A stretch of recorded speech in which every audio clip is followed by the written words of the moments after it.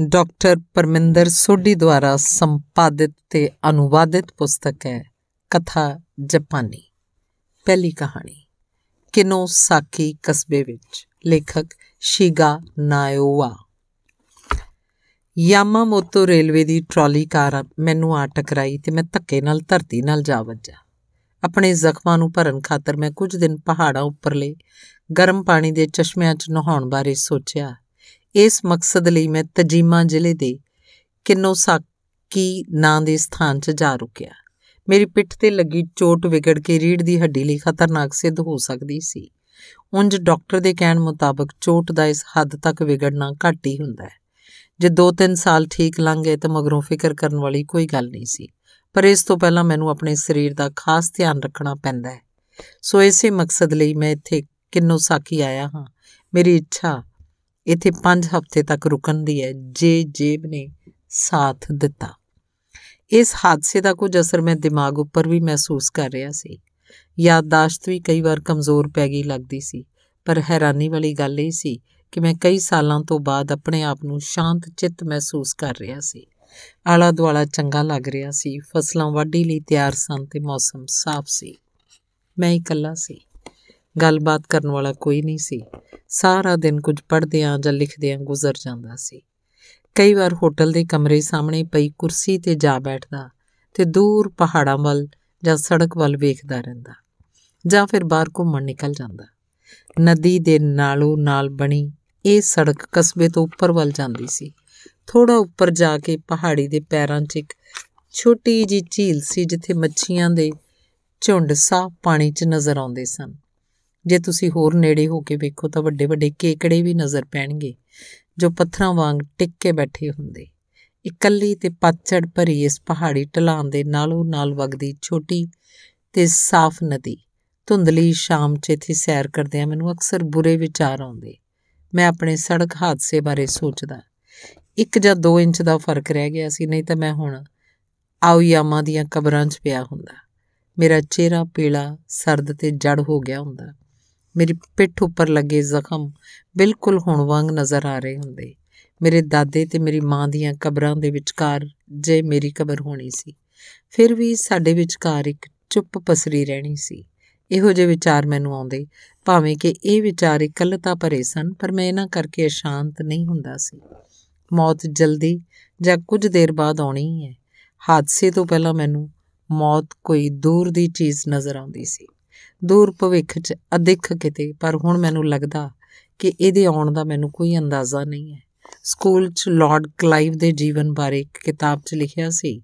Lord Clive ਇੱਕ ਵਾਰੀ ਮੌਤ ਦੇ ਮੂੰਹ 'ਚੋਂ ਬਚ ਨਿਕਲਿਆ ਸੀ।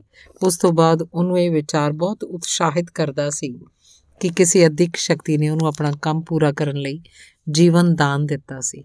ਮੈਂ ਵੀ ਆਪਣੀ ਮੌਤ ਨੂੰ ਆਮੋ ਸਾਹਮਣੇ ਵੇਖਣ ਦੀ ਘਟਨਾ ਨੂੰ ਕੁਝ ਇਸੇ ਤਰ੍ਹਾਂ ਮਹਿਸੂਸ ਕਰਨਾ ਚਾਹੁੰਦਾ ਸੀ ਤੇ ਕਈ ਵਾਰ ਮੈਂ ਇਸ ਤਰ੍ਹਾਂ ਮਹਿਸੂਸ ਕਰਦਾ ਵੀ ਸੀ। ਪਰ ਆਖਰ 'ਚ ਮੇਰਾ ਮਨ ਅਜੀਬ ਜਿਹੀ ਖਾਮੋਸ਼ੀ ਨਾਲ ਭਰ ਜਾਂਦਾ। ਅਸਲ 'ਚ ਇੱਕ ਖਾਸ ਤਰ੍ਹਾਂ ਦਾ ਮੋਹ ਪੈਦਾ ਹੋ ਗਿਆ ਸੀ ਮੇਰੇ ਅੰਦਰ ਮੌਤ ਲਈ। ਮੇਰਾ ਕਮਰਾ ਉੱਪਰਲੀ ਛੱਤ ਤੇ ਹੋਣ ਕਰਕੇ ਬਹੁਤ ਸ਼ਾਂਤ ਸੀ। ਜਦ ਮੈਂ ਪੜ੍ਹਾਈ ਲਖਾਈ ਤੋਂ ਥੱਕ ਜਾਂਦਾ ਤਾਂ ਵਰਾਂਡੇ 'ਚ ਪਈ ਕੁਰਸੀ ਤੇ ਜਾ ਬੈਠਦਾ। ਪੌੜੀਆਂ ਦੇ ਦਰਵਾਜ਼ੇ ਵੱਲ ਮੈਨੂੰ ਛੱਤ ਨਜ਼ਰ ਆਉਂਦੀ। ਤਖਤਿਆਂ ਤੇ ਛੱਤ ਦੇ ਜੋੜ ਵਿਚਕਾਰ ਭਰਿੰਡਾਂ ਦਾ ਖੱਖਰ ਸੀ। ਮੌਸਮ ਬਦਲ ਰਿਹਾ ਸੀ। ਇਹ ਮੋਟੀਆਂ ਧਾਰੀਦਾਰ ਭਰਿੰਡਾਂ ਸਵੇਰ ਤੋਂ ਲੈ ਕੇ ਹਨੇਰਾ ਪੈਣ ਤੱਕ ਬਾਹਰ ਰਹਿੰਦੀਆਂ। ਸਖਤ ਮਿਹਨਤ 'ਚ ਰੁੱਝੀਆਂ ਤੇ ਜਦੋਂ ਮੁੜਦੀਆਂ ਤਾਂ ਕੁਝ ਦੇਰ ਦਰਵਾਜ਼ੇ ਤੇ ਉਤਰਦੀਆਂ, ਆਪਣੇ ਪਰਾਂ ਨੂੰ ਚਰੀਤਾ ਨਾਲ ਘਸਾਉਂਦੀਆਂ, ਬੜੀ ਸਾਵਧਾਨੀ ਨਾਲ ਆਪਣੇ ਪਰਾਂ ਨੂੰ ਦਰੁਸਤ ਕਰਦੀਆਂ ਤੇ ਮੋਰਲੇ ਐਂਟੀਨਿਆਂ ਨੂੰ ਅਗਲੇ ਤੇ ਪਿਛਲੇ ਪੈਰਾਂ ਨਾਲ ਰਗੜਦੀਆਂ, ਫਿਰ ਥੋੜਾ ਜਿਹਾ ਅੱਗੇ ਨੂੰ ਵਧਦੀਆਂ, ਫਿਰ ਅਚਾਨਕ ਉਹਨਾਂ ਦੇ ਪਤਲੇ ਪਰ ਝਟਕੇ ਨਾਲ ਤਣ ਜਾਂਦੇ ਉਹ ਗੂੰਜਵੀਂ ਆਵਾਜ਼ ਵੀ ਕਰਕੇ, ਭੀਂ ਕਰਕੇ ਉੱਡ ਜਾਂਦੀ। ਇਹ ਮੌਸਮ ਯਾਸੂਦੇ ਦੇ ਫੁੱਲਾਂ ਦਾ ਸੀ ਤੇ ਨਾ ਭਰਿੰਡਾਂ ਦੇ ਝੁੰਡ ਫੁੱਲਾਂ ਦੁਆਲੇ ਚੱਕਰ ਕੱਟਦੇ। ਮੈਂ ਜਦੋਂ ਵੀ ਅਕੇਵਾ ਮਹਿਸੂਸ ਕਰਦਾ, ਤਾਂ ਅੰਦਰ ਬਾਹਰ ਜਾਂਦੀਆਂ ਨਾ ਭਰਿੰਡਾਂ ਨੂੰ ਵਰਾਂਡੇ ਦੇ ਜੰਗਲੇ ਤੋਂ ਖੜਾ ਵੇਖਣ ਲੱਗਦਾ। ਇੱਕ ਦਿਨ ਮੇਰਾ ਧਿਆਨ ਲੰਘੇ ਉੱਪਰਲੀ ਛੱਤ ਕੋਲ ਮਰੀ ਪਈ ਇੱਕ ਭਰਿੰਡ ਵੱਲ ਗਿਆ। ਇਹਦੀਆਂ ਲੱਤਾਂ ਪੇਟ ਕੋਲ ਸੁੰਗੜੀਆਂ ਪਈਆਂ ਸਨ।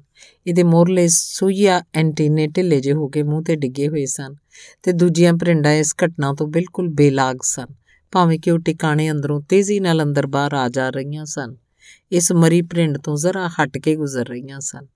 ਇਹ ਤੋਂ ਇਲਾਵਾ ਉਹ ਇਸ ਘਟਨਾ ਤੋਂ ਜ਼ਰਾ ਵੀ ਪ੍ਰਭਾਵਿਤ ਨਹੀਂ ਸੀ ਲੱਗਦੀਆਂ, ਜਿਸ ਅਣਥੱਕ ਤਰੀਕੇ ਨਾਲ ਆਪਣੇ ਕੰਮ 'ਚ ਰੁੱਝੀਆਂ ਹੋਈਆਂ ਸਨ। ਉਸ ਤੋਂ ਨਿਸ਼ਚੇ ਇਹਨਾਂ ਦੇ ਜੀਵਤ ਹੋਣ ਦਾ ਪਤਾ ਚੱਲਦਾ ਸੀ ਤੇ ਬਿਲਕੁਲ ਕੋਲ ਇੱਕ ਮਰੀ ਭਰਿੰਡ ਪਈ ਸੀ। ਸੇਵ, ਸਵੇਰ, ਦੁਪਹਿਰ ਤੇ ਸ਼ਾਮ ਇਹ ਹਮੇਸ਼ਾ ਉਸੇ ਥਾਂ ਚੱਲ ਪਈ ਨਜ਼ਰ ਆਉਂਦੀ। ਜਿਸ ਤਰੀਕੇ ਨਾਲ ਪਈ ਸੀ ਅਹਲ, ਮੂੰਹ ਉੱਪਰ ਵੱਲ, ਉਸ ਤੋਂ ਮਰ ਚੁੱਕੇ ਕਿਸੇ ਪ੍ਰਾਣੀ ਦਾ ਪੱਕਾ ਪਤਾ ਚੱਲਦਾ ਸੀ। ਇਹ ਉਸੇ ਥਾਂ ਤਿੰਨ ਦਿਨ ਪਈ ਰਹੀ। ਮੈਂ ਜਦੋਂ ਵੀ ਇਸ ਵੱਲ ਵੇਖਦਾ, ਸ਼ਾਂਤੀ ਜੀ ਮਹਿਸੂਸ ਕਰਦਾ। ਇਹ ਇਕੱਲਤਾ ਦਾ ਪ੍ਰਭਾਵ ਦਿੰਦੀ। ਸ਼ਾਮ ਨੂੰ ਜਦੋਂ ਸਾਰੀਆਂ ਭਰਿੰਡਾਂ ਆਪਣੇ ਟਿਕਾਣੇ ਅੰਦਰ ਜਾ ਵੜਦੀਆਂ, ਤਾਂ ਇੱਕ ਇਕੱਲੀ ਤੇ ਛੋਟੀ ਬੇਜਾਨ ਨੂੰ ਠੰਡੀ ਕੰਧ ਉੱਪਰ ਪਏ ਦੇਖਣਾ ਇਕੱਲਤਾ ਦਾ ਅਹਿਸਾਸ ਪੈਦਾ ਕਰਦਾ ਸੀ। ਬਾਵਜੂਦ ਇਹਦੇ ਇਹ ਕਿੰਨਾ ਸ਼ਾਂਤ ਅਨੁਭਵ ਸੀ। ਉਸ ਰਾਤ ਜ਼ੋਰਦਾਰ ਬਾਰਿਸ਼ ਪਈ ਸੀ, ਪਰ ਸਵੇਰੇ ਮੌਸਮ ਸਾਫ਼ ਸੀ। ਪੱਤੇ, ਧੂੜ ਤੇ ਛੱਤ ਸਭ ਧੋਤੇ ਗਏ ਸਨ, ਤੇ ਆਲਾ ਦੁਆਲਾ ਨਿਖਰਿਆ ਨਜ਼ਰ ਆ ਰਿਹਾ ਸੀ। ਉਸ ਭਰਿੰਡ ਦੀ ਦੇਹ ਵੀ ਆਪਣੀ ਥਾਂ ਤੇ ਨਜ਼ਰ ਨਹੀਂ ਆ ਰਹੀ ਸੀ। ਭਰਿੰਡਾਂ ਪੂਰੀ ਸ਼ਕਤੀ ਨਾਲ ਮੁੜ ਕੰਮ ਲੱਗ ਗਈਆਂ ਸਨ। ਉਹ ਮਰੀ ਭਰਿੰਡ ਸ਼ਾਇਦ ਪਾਣੀ ਨਾਲ ਛੱਜੇ ਤੋਂ ਹੁੰਦੀ ਹੋਈ ਮਿੱਟੀ 'ਚ ਜਾ ਮਿਲੀ ਸੀ। ਲੱਤਾਂ ਚੁਰੜ ਮੁਰੜ ਤੇ ਦੋਈ ਐਂਟੀਨੇ ਮੂੰਹ ਨਾਲ ਚਿੰਬੜੇ ਹੋਏ। ਮਿੱਟੀ ਹੇਠ ਦੱਬੇ ਹੋਏ। ਸ਼ਾਇਦ ਇਹ ਕਿਤੇ ਮਿੱਟੀ ਦੀ ਰੋੜੀ ਬਣ ਪਈ ਹੋਵੇ। ਅਗਲੀ ਕੋਈ ਤਬਦੀਲੀ ਆਉਣ ਤੱਕ ਇਸ ਨਿੱਕੀ লাশ ਨੇ ਉੱਥੇ ਹੀ ਪਏ ਰਹਿਣਾ ਸੀ। ਜਾਂ ਸ਼ਾਇਦ ਕੀੜੀਆਂ ਉਹਨੂੰ ਖਿੱਚ ਕੇ ਲੈ ਜਾਣ। ਖੈਰ ਜੋ ਵੀ ਹੋਵੇ, ਹੈ ਇਹ ਨਿਸ਼ਚੈ ਹੀ ਬਹੁਤ ਸ਼ਾਂਤ। ਸ਼ਾਂਤ ਇਸ ਕਰਕੇ ਵੀ ਲੱਗਦਾ ਹੈ ਕਿ ਇਹ ਇੱਕ ਹਮੇਸ਼ਾ ਰੁੱਝੇ ਰਹਿਣ ਵਾਲੀ ਪ੍ਰਿੰਡ ਸੀ। ਰੁਝੇਵਾਂ ਜੋ ਹੁਣ ਖਾਮੋਸ਼ ਸਥਿਰਤਾ 'ਚ ਬਦਲ ਚੁੱਕਾ ਹੈ। ਮੈਂ ਇੱਕ ਕਹਾਣੀ ਲਿਖੀ ਸੀ, ਹੇਨਜ਼ ਦਾ ਜੁਰਮ। ਇਸ ਹੇਨਜ਼ ਨਾਂ ਦੇ ਆਦਮੀ ਨੇ ਆਪਣੀ ਪਤਨੀ ਦਾ ਕਤਲ ਕਰ ਦਿੱਤਾ ਸੀ, ਕੁਝ ਈਰਖਾ ਕਰਕੇ ਤੇ ਕੁਝ ਮਾਨਸਿਕ ਦਬਾਅ ਕਰਕੇ। ਕਿਉਂ ਜੋ ਇਹਦੀ ਪਤਨੀ ਨੇ ਵਿਆਹ ਤੋਂ ਪਹਿਲਾਂ ਇਹਦੇ ਇੱਕ ਦੋਸਤ ਨਾਲ ਸੰਬੰਧ ਸਨ ਤੇ ਜਦੋਂ ਮੈਂ ਕਹਾਣੀ ਲਿਖੀ ਸੀ ਤਾਂ ਇਹਦਾ ਵਿਸ਼ਾ ਹੇਨਜ਼ ਦੇ ਜਜ਼ਬਾਤ ਸਨ। ਹੁਣ ਮੈਂ ਉਹਦੀ ਪਤਨੀ ਦੇ ਜਜ਼ਬਾਤ ਬਾਰੇ ਕਹਾਣੀ ਲਿਖਣਾ ਚਾਹੁੰਦਾ ਸੀ। ਆਖਰ ਇਹ ਕਤਲ ਹੋ ਗਈ, ਕਬਰਾਂ 'ਚ ਪਈ, ਇਹਦੀ ਖਾਮੋਸ਼ ਸ਼ਾਂਤੀ ਬਾਰੇ ਮੈਂ ਲਿਖਣਾ ਸੀ। ਉਦੋਂ ਮੈਨੂੰ ਉਹਦਾ ਨਾਂ ਹੇਨਜ਼ ਦੀ ਕਤਲ ਹੋ ਗਈ ਪਤਨੀ ਸੁੱਜਾ ਸੀ। ਭਾਵੇਂ ਕਿ ਮੈਂ ਕਹਾਣੀ ਲਿਖ ਨਹੀਂ ਸਕਿਆ, ਪਰ ਇਹਨੂੰ ਲਿਖਣ ਦੀ ਇੱਛਾ ਮੇਰੇ ਅੰਦਰ ਪੈਦਾ ਹੋ ਗਈ ਸੀ। ਅਸਲ ਗੱਲ ਇਹ ਕਿ ਮੇਰੇ ਅੰਦਰਲੇ ਭਾਵ ਬਦਲ ਗਏ ਸਨ। ਆਪਣੀ ਪਹਿਲਾਂ ਵਾਲੀ ਕਹਾਣੀ ਦੇ ਨਾਇਕ ਦੇ ਵਿਚਾਰਾਂ ਨਾਲੋਂ ਸੱਚਮੁੱਚ ਮੈਂ ਹਾਰ ਗਿਆ ਸਾਂ। ਕੁਝ ਦਿਨਾਂ ਬਾਅਦ ਮੈਂ ਪ੍ਰਿੰਡ ਦੀ লাশ ਤੇ ਪਾਣੀ ਨਾਲ ਰੁੜ ਜਾਣ ਵਾਲੀ ਇਸ ਘਟਨਾ ਨੂੰ ਭੁੱਲ ਭੁਲਾ ਗਿਆ। ਇੱਕ ਸਵੇਰ ਮੈਂ ਆਪਣੇ ਹੋਟਲ ਤੋਂ ਹਿਗਾਸ਼ੀ ਪਾਰਕ ਲਈ ਰਵਾਨਾ ਹੋਇਆ। ਇਸ ਪਾਰਕ ਤੋਂ ਮਾਰੂਯਾਮਾ ਨਦੀ ਦੇ ਜਾਪਾਨ ਸਾਗਰ 'ਚ ਸਮੋ ਜਾਣ ਦਾ ਨਜ਼ਾਰਾ ਵੇਖਣ ਨੂੰ ਮਿਲਦਾ ਹੈ। ਰਸਤੇ 'ਚ ਇੱਕ ਹੋਰ ਗਰਮ ਪਾਣੀ ਦੇ ਚਸ਼ਮੇ ਦੀ ਧਾਰਾ ਮਾਰੂਯਾਮਾ ਨਦੀ 'ਚ ਡਿੱਗਦੀ ਸੀ। ਇਸ ਧਾਰਾ ਉੱਪਰ ਇੱਕ ਪੁਲ ਦੇ ਬਹੁਤ ਸਾਰੇ ਲੋਕ ਇਕੱਠੇ ਹੋਏ ਨਜ਼ਰ ਆਏ। ਇਹ ਲੋਕ ਧਾਰਾ ਵਾਲੇ ਪਾਸੇ ਝੁਕੇ ਕੁਝ ਵੇਖ ਰਹੇ ਸਨ ਤੇ ਮਜ਼ਾ ਲੈ ਰਹੇ ਸਨ। ਅਸਲ 'ਚ ਪਾਣੀ 'ਚ ਡਿੱਗ ਗਿਆ ਇੱਕ ਵੱਡੇ ਚੂਹੇ ਨੂੰ ਵੇਖ ਰਹੇ ਸਨ। ਚੂਹਾ ਪੂਰੇ ਜ਼ੋਰ ਨਾਲ ਪਾਣੀ 'ਚੋਂ ਨਿਕਲਣ ਲਈ ਤੈਰ ਰਿਹਾ ਸੀ ਤੇ ਮੱਛੀ ਵੜਨ ਵਾਲੀ ਕੋਈ 8 ਇੰਚ ਲੰਬੀ ਕੁੰਡੀ ਇਹਦੀ ਗਰਦਨ ਦੇ ਆਰ-ਪਾਰ ਗੁਜ਼ਰ ਗਈ ਨਜ਼ਰ ਆਉਂਦੀ ਸੀ। ਚੂਹਾ ਇੱਕ ਛੋਟੀ ਚਟਾਨ ਉੱਪਰ ਚੜਨ ਲਈ ਜ਼ੋਰ ਲਗਾ ਰਿਹਾ ਸੀ। ਦੋ ਤਿੰਨ ਬੱਚੇ ਤੇ ਇੱਕ 40 ਕੁ ਸਾਲਾ ਰਿਕਸ਼ਾ ਚਾਲਕ ਚੂਹੇ ਉੱਪਰ ਪੱਥਰਾਂ ਨਾਲ ਨਿਸ਼ਾਨੇ ਲਗਾ ਰਹੇ ਸੀ। ਉਹਨਾਂ ਦੇ ਨਿਸ਼ਾਨੇ ਗਲਤ ਲੱਗਦੇ ਸਨ ਤੇ ਪੱਥਰ ਚਟਾਨ ਨਾਲ ਵੱਜ ਕੇ ਦੂਰ ਬੁੜਕ ਜਾਂਦੇ ਸਨ। ਭੀੜ ਜ਼ੋਰ-ਜ਼ੋਰ ਦੀ ਹੱਸਦੀ ਆਖਰ ਚੂਹਾ ਚਟਾਨ ਦੇ ਇੱਕ ਖੁੰਝੇ ਜਿਹੇ 'ਚ ਪੰਜੇ ਉਡਾਉਣ 'ਚ ਸਫਲ ਹੋ ਗਿਆ। ਪਰ ਜਿਵੇਂ ਹੀ ਉਹਨੇ ਉੱਪਰ ਚੜਨਾ ਚੜਨ ਦੀ ਕੋਸ਼ਿਸ਼ ਕੀਤੀ, ਗਰਦਨ 'ਚ ਫਸੀ ਕੁੰਡੀ ਹੋਰ ਅੰਦਰ ਤਸ ਗਈ। ਚੂਹਾ ਝਟਕਾ ਖਾ ਕੇ ਮੁੜ ਪਾਣੀ 'ਚ ਜਾ ਡਿੱਗਿਆ। ਪਰ ਉਹ ਫਿਰ ਕਿਨਾਰੇ ਲੱਗਣ ਦੀ ਕੋਸ਼ਿਸ਼ ਕਰਨ ਲੱਗਾ। ਭਾਵੇਂ ਕਿ ਆਦਮੀ ਇਹਦੇ ਚਿਹਰੇ ਤੇ ਫੈਲੇ ਭਾਵਾਂ ਨੂੰ ਨਹੀਂ ਸਮਝ ਸਕਦਾ, ਫਿਰ ਵੀ ਉਹਦੀਆਂ ਕੋਸ਼ਿਸ਼ਾਂ ਤੋਂ ਜ਼ਾਹਰ ਹੋ ਰਿਹਾ ਸੀ ਕਿ ਉਹ ਕਿੰਨਾ ਕਠੋਰ ਯਤਨ ਕਰ ਰਿਹਾ ਸੀ। ਇਸ ਤੋਂ ਬਚ ਨਿਕਲਣ ਦੇ ਵਿਚਾਰ ਨਾਲ ਉਹ ਧਾਰਾ ਦੇ ਅੰਦਰ ਵਾਲੇ ਪਾਸੇ ਵਧਣ ਲੱਗਾ। ਕਾਂਟਾ ਹਲੇ ਵੀ ਉਹਦੇ ਆਰ-ਪਾਰ ਘੁਬਿਆ ਹੋਇਆ ਸੀ। ਚੂਹੇ ਨੂੰ ਵਹਾਅ ਵਾਲੇ ਪਾਸੇ ਜਾਂਦੇ ਵੇਖ ਕੇ ਬੱਚੇ ਤੇ ਰਿਕਸ਼ਾ ਚਾਲਕ ਹੋਰ ਵੀ ਜੋਸ਼ 'ਚ ਆ ਗਏ, ਪੱਥਰ ਮਾਰਨ ਲੱਗੇ। ਧੋਬੀ ਘਾਟ ਕੋਲ ਜੁੜੀਆਂ ਦੋ ਤਿੰਨ ਬੱਤਕਾਂ ਉੱਡੇ ਜਾਂਦੇ ਪੱਥਰਾਂ ਨੂੰ ਵੇਖ ਕੇ ਚਤਨ ਹੋ ਗਈਆਂ ਤੇ ਗਰਦਨਾਂ ਉੱਪਰ ਨੂੰ ਕੱਢ ਹੈਰਾਨੀ ਨਾਲ ਇੱਧਰ-ਉੱਧਰ ਵੇਖਣ ਲੱਗੀਆਂ। ਪੱਥਰ ਧੜਮ ਦੀ ਆਵਾਜ਼ ਕਰਦੇ ਪਾਣੀ 'ਚ ਡੁੱਬ ਜਾਂਦੇ ਤੇ ਦਹਿਸ਼ਤ ਨਾਲ ਭਰੀਆਂ ਬੱਤਕਾਂ ਦੀਆਂ ਗਰਦਨਾਂ ਹੋਰ ਵੀ ਖੜੀਆਂ ਹੋ ਜਾਂਦੀਆਂ। ਖਤਰੇ ਨੂੰ ਮਹਿਸੂਸ ਕਰਕੇ ਉਹਨਾਂ ਕੋਹਰਾਮ ਮਚਾ ਦਿੱਤਾ ਤੇ ਤੇਜ਼ੀ ਨਾਲ ਆਪਣੇ ਪੈਰਾਂ ਦੇ ਚਪੂ ਚਲਾਉਂਦੀਆਂ ਵਹਿਣ ਦੇ ਉਲਟ ਪਾਸੇ ਵੱਲ ਭੱਜ ਗਈਆਂ। ਚੂਹੇ ਦੇ ਆਖਰੀ ਛਿਣ ਵੇਖਣ ਦੀ ਮੇਰੀ ਹਿੰਮਤ ਨਾ ਹੋਈ। ਮੌਤ ਦੀ ਹੋਣੀ ਤੋਂ ਪਹਿਲਾਂ ਆਪਣੀ ਜ਼ਿੰਦਗੀ ਲਈ ਪੂਰੇ ਤਾਣ ਨਾਲ ਜੂਝ ਰਹੇ ਚੂਹੇ ਦਾ ਦ੍ਰਿਸ਼ ਮੇਰੇ ਮਨ ਤੇ ਡੂੰਘਾ ਉਕਰਿਆ ਗਿਆ।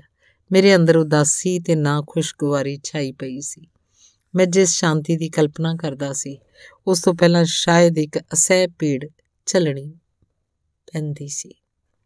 ਮੈਂ ਸੋਚਦਾ ਰਿਹਾ ਮੌਤ ਤੋਂ ਬਾਅਦ ਦੀ ਸ਼ਾਂਤੀ ਲਈ ਮੇਰੇ ਅੰਦਰ ਇੱਕ ਖਿੱਚ ਜ਼ਰੂਰ ਹੈ। ਪਰ ਜਦੋਂ ਤੱਕ ਮੈਂ ਉਹਨੂੰ ਹਾਸਲ ਨਹੀਂ ਕਰਦਾ, ਉਦੋਂ ਤੱਕ ਮੈਨੂੰ ਇੱਕ ਭਿਆੰਕਰ ਵਕਤ ਚੋਂ ਗੁਜ਼ਰਨਾ ਪਏਗਾ। ਜਿਨ੍ਹਾਂ ਪ੍ਰਾਣੀਆਂ ਨੂੰ ਖੁਦਕੁਸ਼ੀ ਦਾ ਗਿਆਨ ਨਹੀਂ ਹੁੰਦਾ, ਉਹਨਾਂ ਨੂੰ ਆਪਣੇ ਯਤਨ ਆਖਰੀ ਦਮ ਤੱਕ ਜਾਰੀ ਰੱਖਣੇ ਹੀ ਪੈਂਦੇ ਐ। ਤੇ ਜੇ ਮੈਂ ਉਸ ਚੂਹੇ ਦੇ ਹਾਲਾਤ 'ਚ ਹੁੰਦਾ, ਮੈਂ ਕੀ ਕਰਨਾ ਸੀ?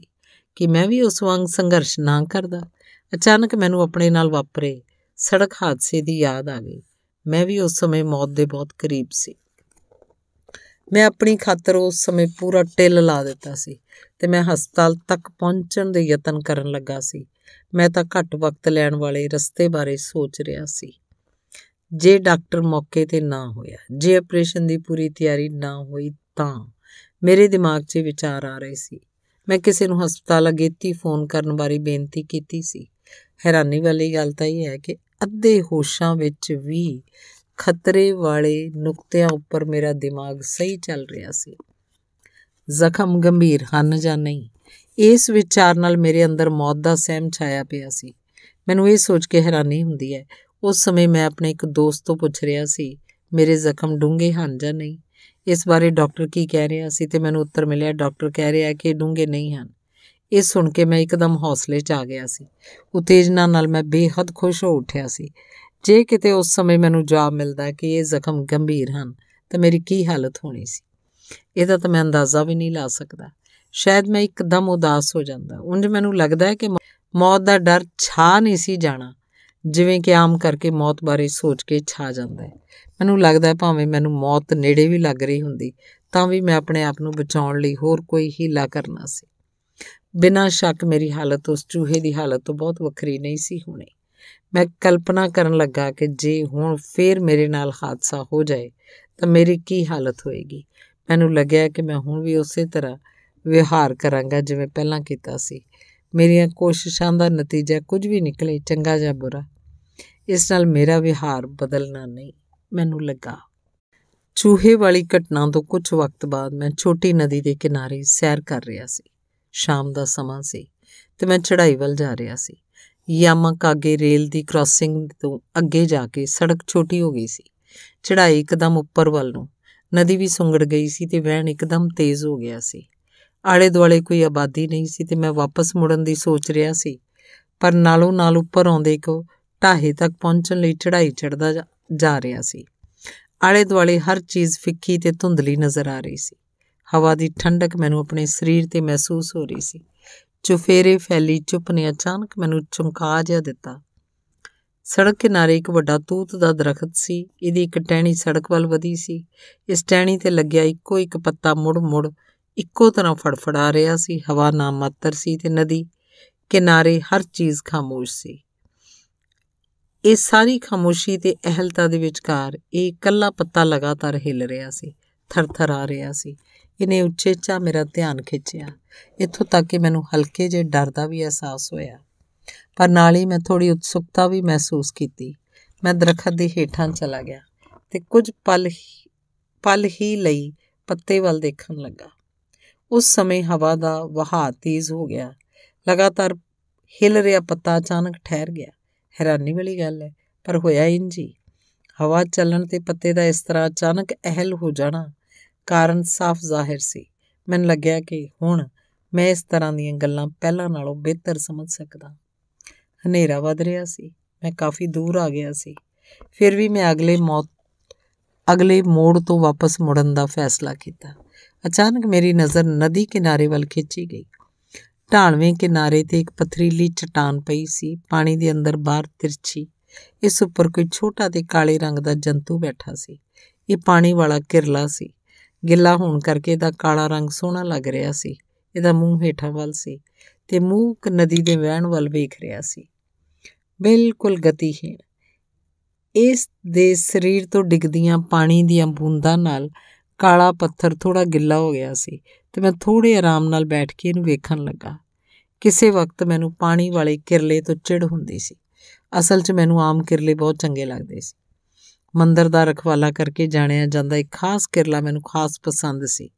ਜਿੱਥੋਂ ਤੱਕ ਪਾਣੀ ਵਾਲੇ ਕਿਰਲੇ ਦਾ ਸਬੰਧ ਹੈ, ਇਹ ਮੇਰੀ ਖਾਸ ਧਿਆਨ ਖਿੱਚਦਾ ਸੀ।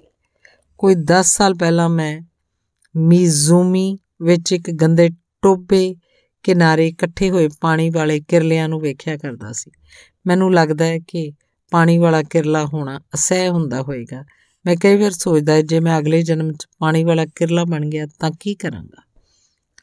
ਜਦੋਂ ਤੋਂ ਮੈਨੂੰ ਇਹ ਵਿਚਾਰ ਆਉਣ ਲੱਗਾ, ਮੈਂ ਪਾਣੀ ਦੇ ਕਿਰਲਿਆਂ ਨੂੰ ਦੇਖਣਾ ਘੱਟ ਕਰ ਦਿੱਤਾ ਸੀ, ਪਰ ਹੁਣ ਮੈਨੂੰ ਅਜਿਹੇ ਖਿਆਲ ਆਉਣੋਂ ਬੰਦ ਹੋ ਗਏ ਸਨ ਤੇ ਮੈਂ ਸੋਚਿਆ ਕਿ ਇਸ ਪਾਣੀ ਵਾਲੇ ਕਿਰਲੇ ਨੂੰ ਪਾਣੀ ਵੱਲ ਧੱਕਿਆ ਜਾਵੇ।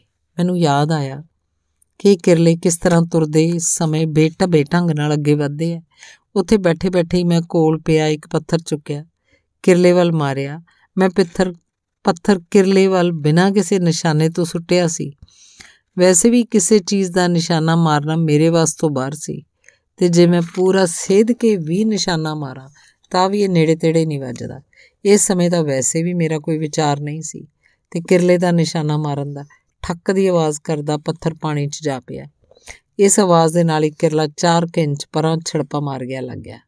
ਕਿਰਲੇ ਦੀ ਪੂਛ ਉੱਪਰ ਵੱਲ ਨੂੰ ਗੁਲਾਈ ਲੈਂਦੀ ਖੜੋ ਗਈ। ਤੇ ਮੈਂ ਚੌਂਕ ਜਿਹਾ ਪਿਆ ਕਿ ਕੀ ਹੋਇਆ? ਅਸਲ 'ਚ ਮੈਨੂੰ ਪਹਿਲਾਂ ਪਤਾ ਨਹੀਂ ਲੱਗਿਆ ਕਿ ਪੱਥਰ ਉਹਦੇ ਵੱਜਾ ਸੀ। ਫਿਰ ਹੌਲੀ-ਹੌਲੀ ਉੱਪਰ ਵੱਲ ਖੜੀ ਕਿਰਲੇ ਦੀ ਪੂਛ ਹੇਠਾਂ ਵੱਲ ਝੁਕ ਗਈ। ਆਪਣੀਆਂ ਲੱਤਾਂ ਚਟਾਨ ਦੀ ਢਲਾਣ ਵੱਲ ਕਰਕੇ ਉਹ ਕਮਜ਼ੋਰ ਜਿਹਾ ਅੱਗੇ ਨੂੰ ਵਧਿਆ।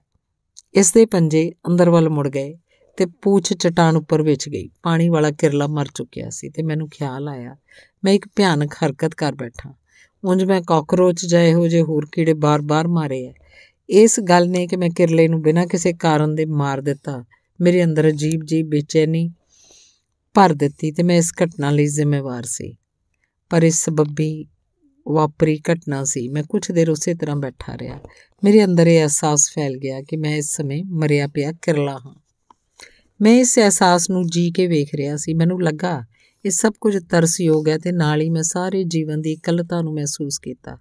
ਮਰਨ ਵਾਲਾ ਮੈਂ ਨਹੀਂ ਸੀ।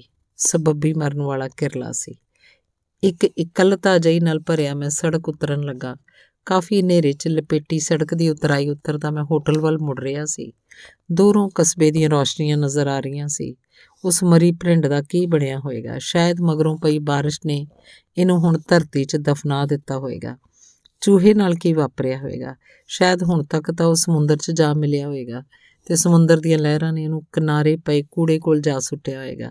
ਤੇ ਜੇ ਮੈਂ ਹਾਲੇ ਮਰਿਆ ਨਹੀਂ, ਉਸ ਰਸਤੇ ਤੇ ਤੁਰਿਆ ਜਾ ਰਿਹਾ, ਇਸ ਸਮੇਂ ਵਿਚਾਰ ਮੈਨੂੰ ਆ ਰਹੇ ਸੀ। ਮੈਂ ਸੋਚਿਆ, ਮੈਨੂੰ ਇਸ ਸਮੇਂ ਧੰਨਵਾਦ ਨਾਲ ਭਰੇ ਹੋਣਾ ਚਾਹੀਦਾ, ਪਰ ਅਸਲ 'ਚ ਮੇਰੇ ਅੰਦਰੋਂ ਧੰਨਵਾਦ ਦਾ ਕੋਈ ਅਹਿਸਾਸ ਨਹੀਂ ਉੱਠ ਰਿਹਾ ਸੀ। ਜਿਉਂਦੇ ਹੋਣਾ ਜਾਂ ਮਰੇ ਹੋਣਾ ਅਸਲ 'ਚ ਕੋਈ ਹਾਂ ਪੱਖੀ ਜਾਂ ਨਾ ਪੱਖੀ ਦੋ ਸਿਰੇ ਨਹੀਂ ਸਨ। ਮੈਨੂੰ ਮਹਿਸੂਸ ਹੋ ਰਿਹਾ ਸੀ ਕਿ ਇਹਨਾਂ 'ਚ ਕੋਈ ਖਾਸ ਫ਼ਰਕ ਨਹੀਂ ਹੈ। ਹੁਣ ਤੱਕ ਚੁਫੇਰੇ ਖਾਸਾ ਹਨੇਰਾ ਪਸਰ ਚੁੱਕਾ ਸੀ। ਦੂਰ ਕਿਤੇ ਰੋਸ਼ਨੀਆਂ ਨਜ਼ਰ ਆ ਰਹੀਆਂ ਸੀ। ਮੈਂ ਸੜਕ ਤੇ ਤੁਰਨਾ ਤੇ ਰੋਸ਼ਨੀਆਂ ਨੂੰ ਵੇਖਣਾ ਦੋ ਅਲੱਗ ਕਿਰਿਆਵਾਂ ਮਹਿਸੂਸ ਕਰਨ ਲੱਗਾ। ਮੇਰਾ ਦਿਮਾਗ ਪੂਰੀ ਤਰ੍ਹਾਂ ਚੱਲ ਰਿਹਾ ਸੀ।